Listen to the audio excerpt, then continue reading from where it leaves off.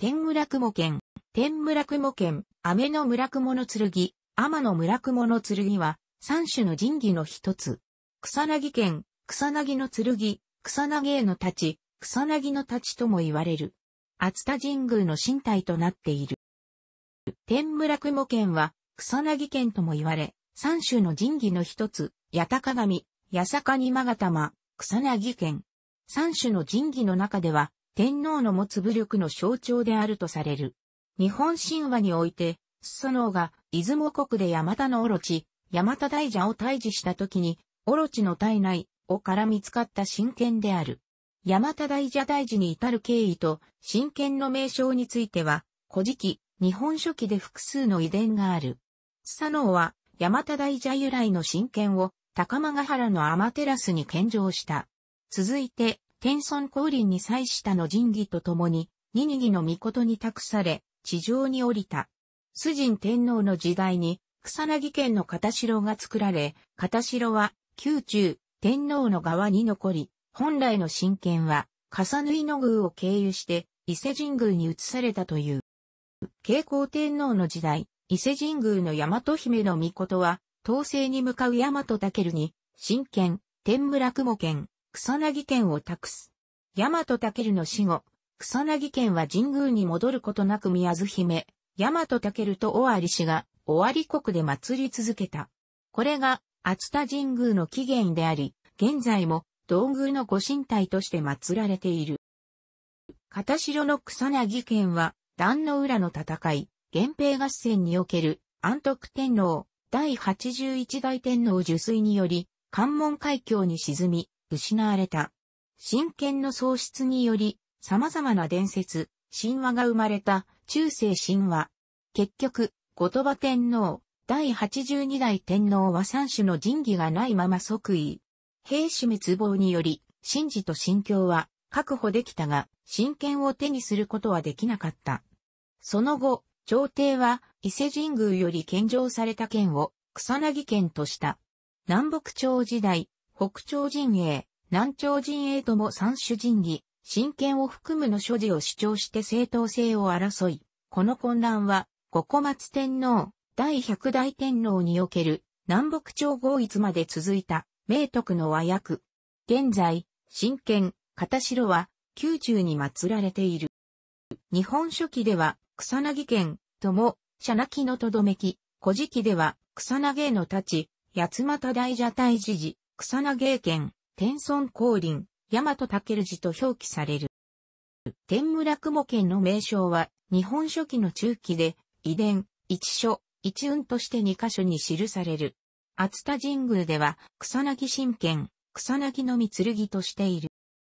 天台座筋園は、天皇の持つ武力の象徴と解釈している。北畠近房は従来解釈に加えて、剣発吉利決断を得とす。知恵の本源なりという儒学的な解釈を行った北畠の人王正当期では、鏡イコール正直の本源、玉イコール慈悲の本源、剣イコール知恵の本源。一条金吉は、鏡イコール知のよう、玉イコール人の徳、剣イコール有の義、熊沢万山は、鏡イコール知の像、印、玉イコール人の像、剣イコール有の像、田中里志学は、鏡イコール、アマテラス大臣イコール知徳、玉イコールつくよみ村イコール人事、県イコールスサノー村イコール武勇と解釈している。またスサノーは、出雲国の山田オロチを退治した時に、高間ヶ原のアマテラスに、大蛇由来の神剣、草薙県、天根村雲県を献上したが、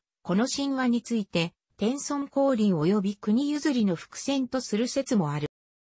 高間ヶ原から出雲国に至ったスサノオ、スサノオ村は串灘姫、串灘姫、古事記、キーナダ姫、日本書紀を助けるため、十県県で山田のオロチ、八俣大蛇、八俣園、両里市、木、山田大蛇、木を切り刻んだ。この時、尾を切ると十県県の歯が欠け、尾の中から鋭い太刀が出てきた。古事記では、まずトムガリの太刀、ツムガリの太刀と言及する。続いて、草薙県、草薙の太刀と表記する。古事記の原文と解釈文は以下の通り。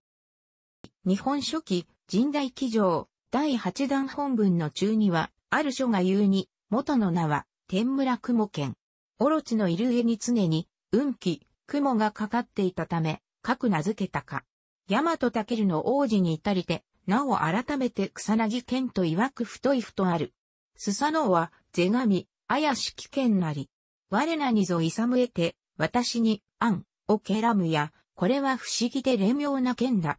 どうして自分のものにできようか、日本書紀第八弾本文といって、高間ヶ原のアマテラス大臣、アマテラスに献上した。古語周囲では天神、天津神と表記している。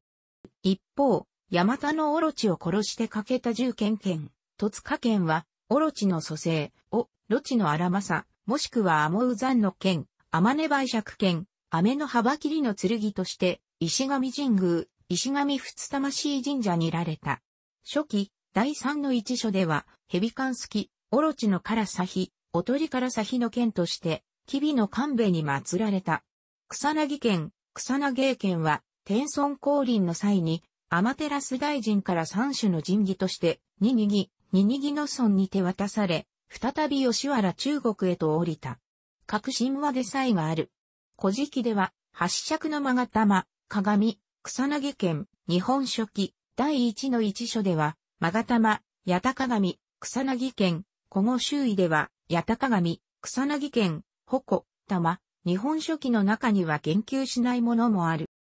ニニギが所有して、以降、神武天皇統制や、血氏八代等で天村雲県、草薙県がどのように扱われていたかは、古事記、日本書紀とも記載していない。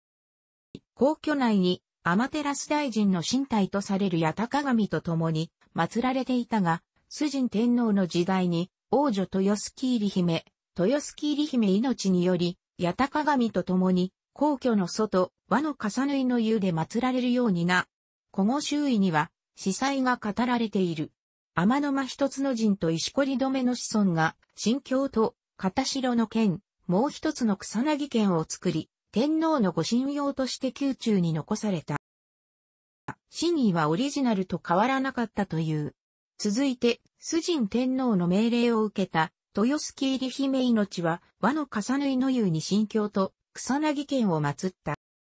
水任天皇の時代、大和姫、大和姫命に引き継がれ、豊助入姫から合わせて約60年をかけて、現在の伊勢神宮内宮に落ち着いた60年以降の部分は、大和姫命良きに見られる木である。詳細記事、元伊勢。この時点で、天村雲県は、伊勢神宮で祀られることになった。慶光天皇、第12代の時代、天村雲県、草薙県は、伊勢国、伊勢神宮の大和姫から、東国の制圧、東西へ向かう大和武、日本穂高に授けられた。神権を授けるにあたり大和姫は大和武に言葉をかけるが、複数の遺伝がある。古事記では、草薙県と共に、火打ち石入りの袋を渡して、和歌、もし球に儚なることあらば、この脳、袋の口と書い、と来た前と見ことのりる。日本書紀や古語周囲では、真なたるなり、慎んで怠ることなかれと訓戒した。平安時代の熱田神宮に伝わっていた、気分、由緒によれば、アマテラスは大和姫に神がかりして、先の生まれ、祖佐の王の御事たりしとき、出雲の国にて八股の王、土地の王の中より取り入て、我に、値し剣なり、この剣は、そなた、大和武が、前世で、スサノオであったとき、出雲国でヤマタオロチの王より取り出して、私に献上した剣です、と伝えている。一説によると、大和武は、天皇から授かった天音の広矛、ひひら僕や広矛、ひひらぎのや広の矛を、神宮に預けたという。その後、大和武は、愛武国、木及び、古語周囲もしくは、駿河国、木、厚田神宮伝文で、敵の放った野びに囲まれ、窮地に陥るが、剣で草を刈り払い、木と周囲のみ、向かい火をつけ脱出する。日本書紀の中では、一説には、天村雲家が自ら抜け出して草を投げ払い、これにより、難を逃れたためその剣を、草薙剣と名付けたとある。統制の後、大和武は、尾張国で結婚した、宮津姫、宮津の小姫のもとに剣を預けたまま、伊吹さんの悪心、工人を討伐しに行く。古後周囲では、剣を解きて、炊く、家に置き、と、田村でで行き出まして丹吹山に登り、毒、悪しき息に、中、当たりて隠れ、かむさりましき。として、草薙県を宮津姫のもとに置いて出陣したことで、大和武は真剣の加護を失ったと暗示する。終わり国風土器においては、宮津姫の屋敷に滞在していた大和武は夜中に川屋へ入るとき、脇の桑の木に剣をかけ、そのまま忘れて部屋に戻った。思い出して桑の木に戻ると、剣が神々しく光り輝いて、手にすることができなかったという。宮津姫に大和武は、剣を私の経営、見影として祀るようにと告げて出陣した。終わり国圧田太市神宮演技、平安時代初期では、大和武は桑の木から貢献を手に取ったものの、宮津姫に我が床の守りとせよと告げて出陣した。結局、大和武は伊吹山の神、白井、古事記、大蛇、日本書紀、山田オロチの化身ともによって、病を得、大和国へ帰る途中で、最後に、剣の立ち、アーソの立ちよ、木、もしくは、ルビー RB 超女、RBRT 乙女、RT、ルビーの床のルビー RB が、RBRT、ベ、RT、ルビーに、我が浮きし、ルビー RB 博士、RBRT 剣、RT、ルビーの立ち、そのルビー RB たち、RBRT たち、RT、ルビーはや、と、草薙県を呼んで亡くなってしまった。その後、宮津姫は、夫、大和武と草薙県を祀り、これが、後の熱田神宮となった。天智天皇の時代、668年、白木人による盗難に遭い、一時的に宮中で保管された詳細口述。天武天皇の時代、主張元年、686年、天皇が病に倒れると、占いにより草薙県のたたりと判明。神権は再び、熱田神宮へ戻された。だが、天武天皇は回復せず崩御した。平安時代末期の樹永4年3月24日、1185年4月25日、壇の浦の戦いの際、2位の2が安徳天皇と共に封建を抱いて、受水、封建は関門海峡に沈み失われた。朝廷と源氏軍は封建の捜索を行い、自社に家事義答を行わせたりもしたが、結局見つからなかったため朝廷は伊勢神宮より献上された県を草薙県とした。室町時代の夏季3年9月23日、1443年10月16日に起こった近血の変の際に、豪南朝勢力により勾玉と共に、宮中から奪われた。翌日朝、清水寺の僧が境内で発見し、封建は宮中に戻された。発見した僧は、褒美として、美濃国可能座とを賜ったという。尾張霊域によれば、1839年、天保10年1月19日に、盗難被害にあったが、犯人はすぐに捕まった。この際に、神殿を改造した。1868年、明治元年9月27日、東京、江戸に向かう明治天皇は、熱田神宮に宿泊、東京行幸。この時、神代由来の天村雲県と片城の神剣が同時に存在することになった。明治天皇は1878年、明治11年10月28日、1880年、明治13年7月2日にも、熱田神宮に行幸した。太平洋戦争末期の1945年、昭和20年になると連合国軍による日本本土空襲は激しさを増し、名古屋方面も激しい空爆を受ける。熱田神宮は3月12日と5月17日の空襲で多数の建物を消失、本殿も一部損傷した。本土決戦、結合作戦、ダウンフォール作戦も視野に入り、草薙県の扱いが問題になる。7月31日、昭和天皇は内大臣、木戸光一と宮内大臣、石渡宗太郎に対して、三種の神器の避難を検討させる。飛騨一宮水無神社が疎開候補地となり、伊勢神宮関係者以下により視察が行われた陸軍関者により事前に調査済み。また本土決戦で最悪の事態となった場合、昭和天皇は伊勢神宮の八高神及び熱田神宮の天村雲県、草薙県ともども、長野県の松代大本営に移り、運命を共にする決意だったという。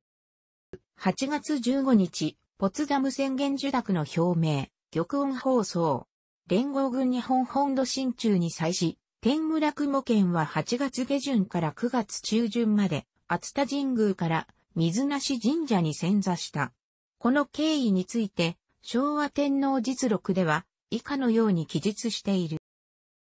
諸説あるが、実際は、あまりわかっていない。トムガリ大東、ツムガリの太刀、トムウ大東、ツムワの太刀、八重垣県、八重が、木の剣、靴定県、靴なぎの県とも言う。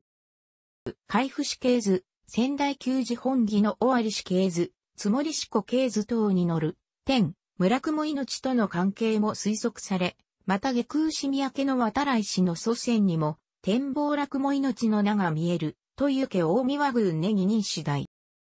大和武が伊勢神宮でこれを排除し、統制の途上の駿河国で、この神権によって、のびの難を払い、草薙県の別名を与えた。この説は広く知られているが、日本書紀では遺伝とされている。現在の静岡県には、焼津、草薙など、この神話に由来する地名が残る。とゆけ大見和宮拙者には、草薙、草薙神社があり、兵県守る、見印の剣を祀るという、渡来家行き、類樹神義本源。草は、匂い、なぎは、蛇のい、うなぎ名称などを参照で、原義は、蛇の剣であるという説。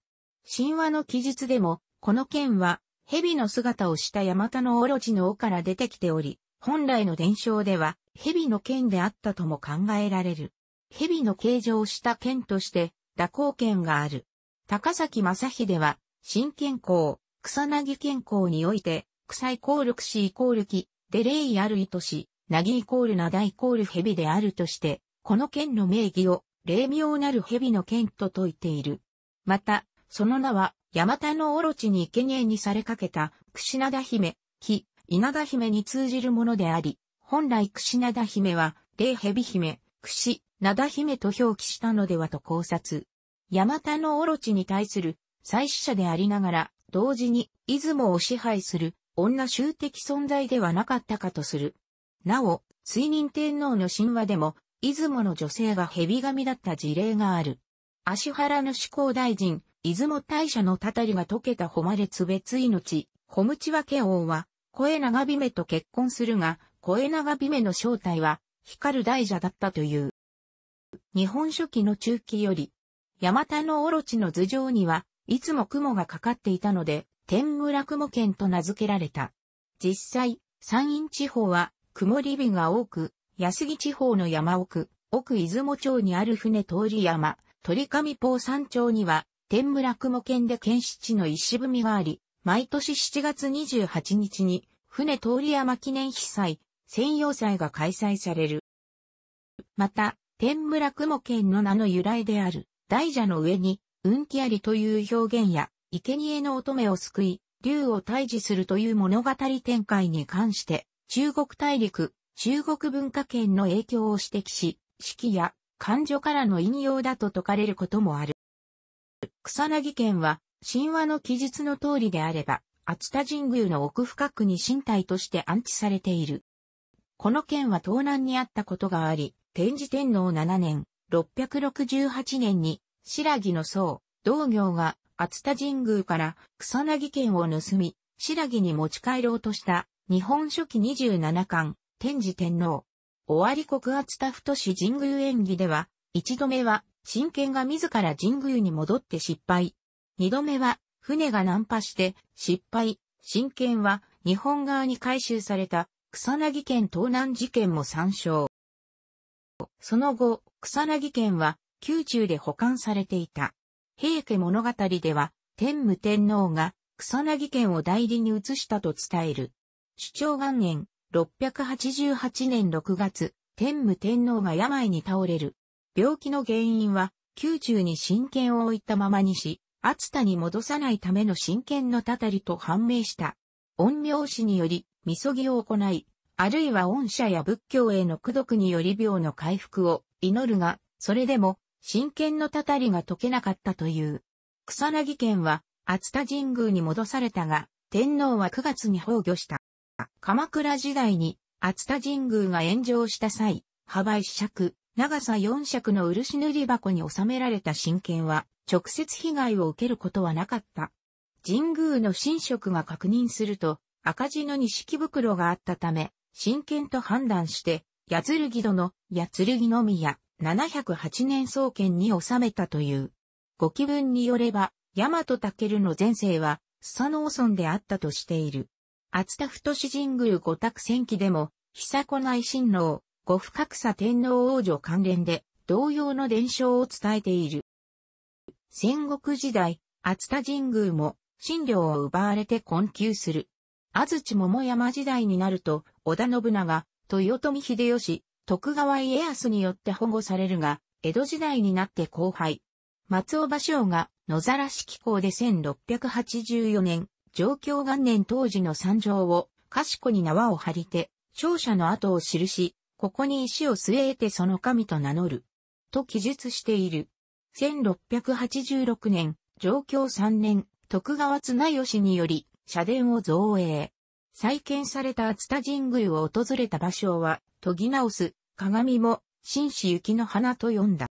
江戸時代、五代将軍、徳川綱吉時代に、熱田神宮の改修工事があった時、前日、神剣が入った室が古くなったので、神剣を新しい室に移す際、4.5人の熱田、大宮寺社家の神官が神剣を盗み見たと記録がある。天野貞景、名古屋藩士、国学者の随筆、塩尻によれば、神剣を取り出した関係者は、数年のうちに咎めを受けたという。梅宮大社の神職者で、水化神道の学者、玉木正秀、1671から1736年、玉久寺州の裏書きの記載は、明治31年の神義交渉、栗田博士著や、三種の神義の考古学的検討、後藤森和著で世に知られるようになった。上日の著作によれば、神剣が祀られた土曜殿内部は雲霧が立ち込めていた。木製の筆、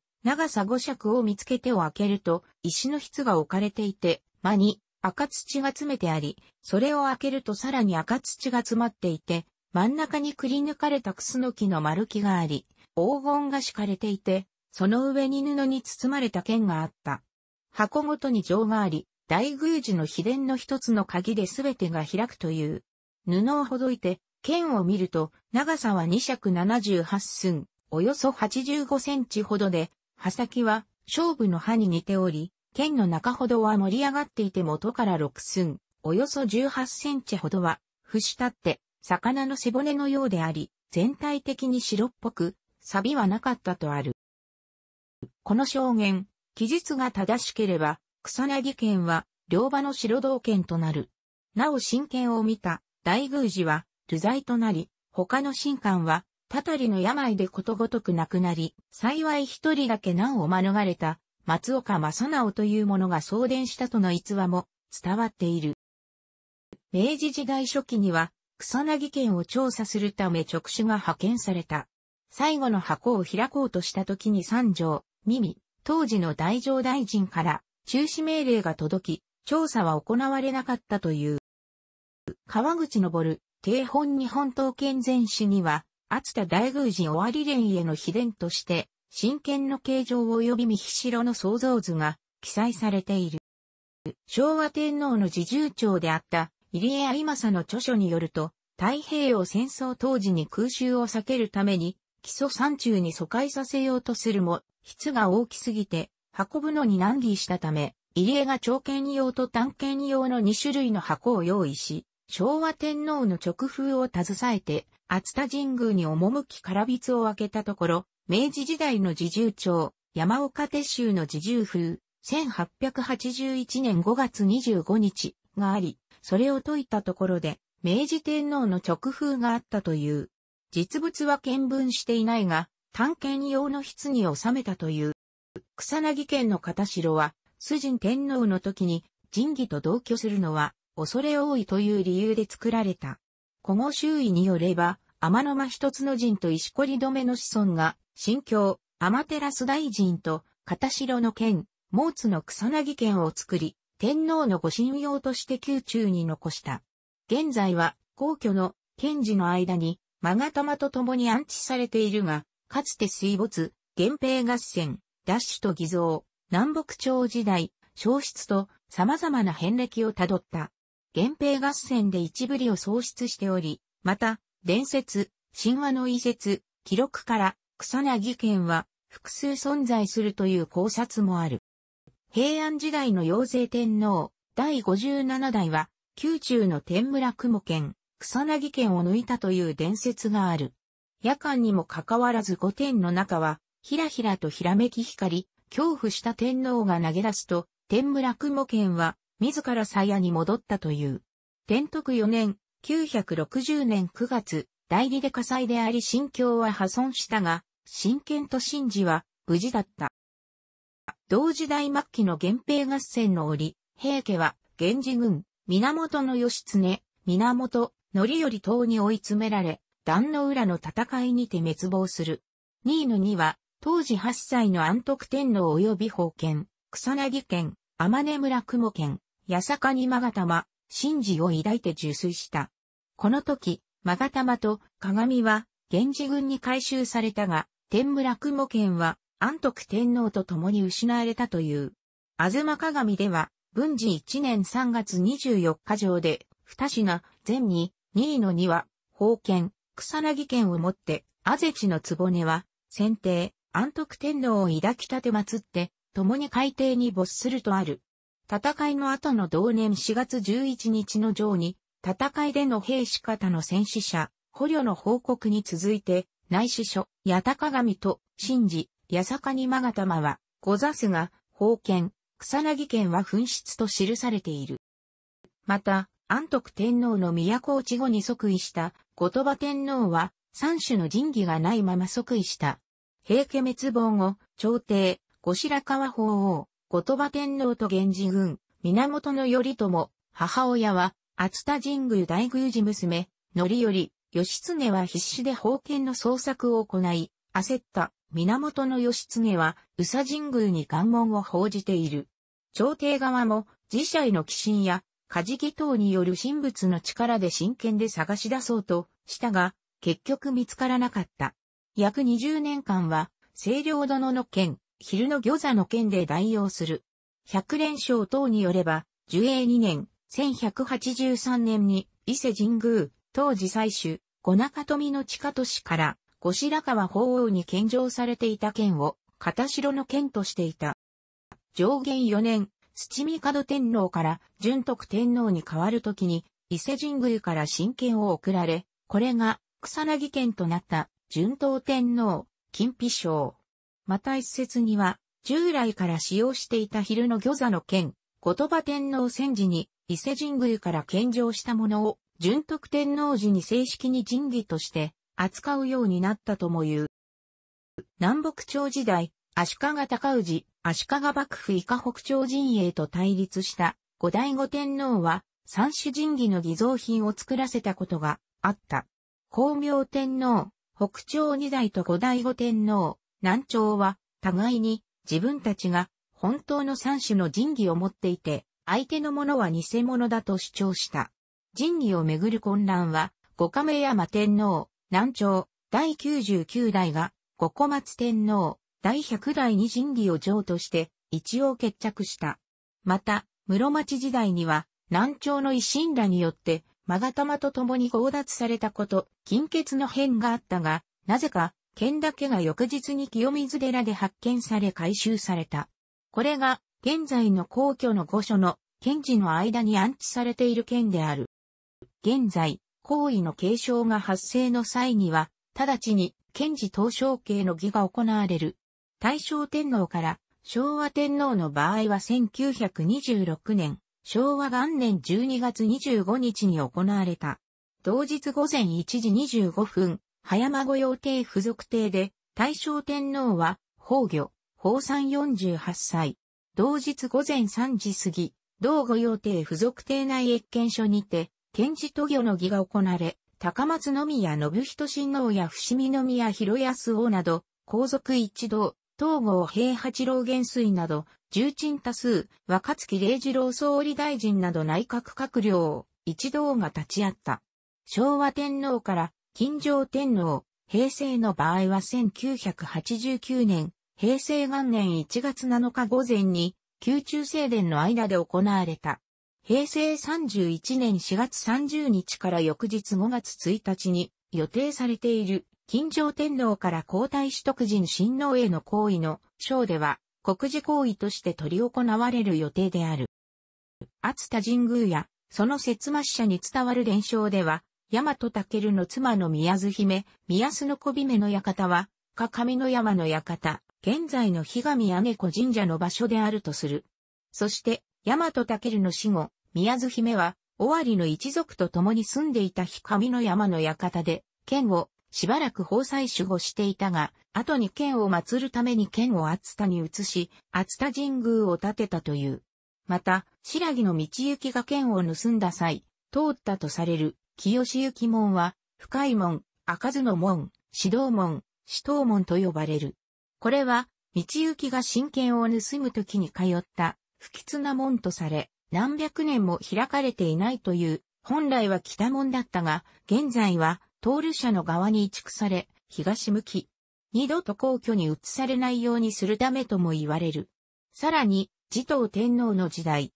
698年には、真剣の容器を沈めて、日本穂高と宮須の小姫の魂を沈めるため、天皇が真剣を厚田神宮から日上姉子神社に移そうと計画していたが、4年後に亡くなったためにかなわなかったという。また、現在の愛知県名古屋市昭和区村雲町の名の由来になったという説がある。その他、静岡市清水区草薙は、神話上の同じエピソードに関連すると言われる。白木の道行きに剣を盗まれた後、剣は戻り皇居に移されることとなったが、厚田神宮に返還される以前に、奈良県天理市にある出雲達夫神社に移され、剣が放災されていたとされる。出雲達夫神社は、ご神体が草薙県の荒玉、荒御玉とされており、天武天皇により677年に創設された。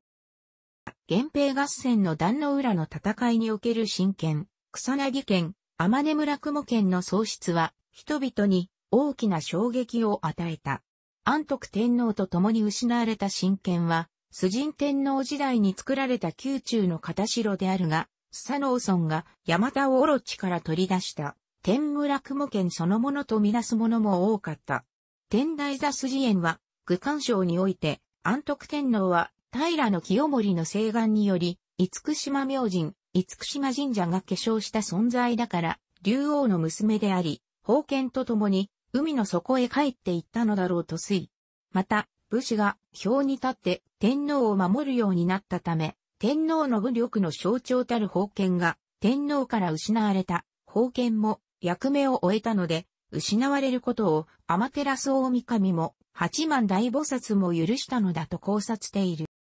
徳島県の県山には、安徳天皇が天村雲県を治めたという伝説がある。真剣の奉納により、太郎山から減少の県山に変わり、山頂の献身者本宮で元仙壇村と安徳天皇を祀ったという。平家物語では、陰陽寮博士の言葉として、昔出雲国語への川上にて、元仙から子孫に切り殺され、奉仕おろち、霊剣を惜しむ志深くして八の首、頭八の王を、表示、え、氏として、人王八十代の後、八歳の帝と聖て、霊剣を取り返して海底に沈みたもうにこそ、矢頭八尾の山田大蛇はスサノオに奪われた、霊剣、草薙剣を惜しむ気持ちが深く、人王八十代の安徳天皇となり、八歳の時に天村雲剣を取り返して海底に帰っていったと記述している。太平記でも安徳天皇は山田オロチの化身で、封建と共に竜宮城に帰ったという伝承を採用している。なお源平合戦時代の安徳天皇、第81代天皇は、神宮皇后を第15代天皇に、大友美子、公文天皇を第39代天皇、明治3年認定に数えなかった場合、第80代天皇となる。源平盛水期では、ホッケ業をまとった天が神剣を探すため、竜宮城に行き、宝剣、天村雲剣、草薙剣を口に加えたオロチと、安徳帝に出会ったと述べている。オロチが語ったところによれば、宝剣はもともと竜宮の宝であり、スサノオに倒されたヤマタノオロチは、オロチの次男であったという。ヤマタノオロチは、伊吹さんのオロチになって、ヤマトタケルを倒したが、宝剣は取り戻せなかった。何度も人間に転生して、奪還を試みたが失敗し、安徳天皇に転生して、ようやく宝剣を取り戻せたとする。太平記第25巻では、伊勢国より、アマテラス大臣が竜宮に対し神権を返上するよう命令し、それによって海岸に打ち上げられたという光る剣が献上される。日野元明や足利忠義たちは本物の神剣と主張する。だが、過重寺教剣が反対し、剣は平野神社に預けられたという。天村雲県の本来の持ち主は、アマテラス大臣であり、天の岩戸隠れの際に落としたという伝承がある。林道春の本庁神社校の厚田の乱に、スサノオがアマテラス大臣に奉納する際、我天の岩に隠れしとき、この剣を金州不刻山に落とす。これはが神剣なり。との記述があり、また、源平盛世紀の末期44にも、大御神大に閲ましまして、我天岩戸に、陛下ご子時、大見国丹武君峰に落ちたり試験なりとぞ青のける。とある。楽しくご覧になりましたら、購読と良いです。クリックしてください。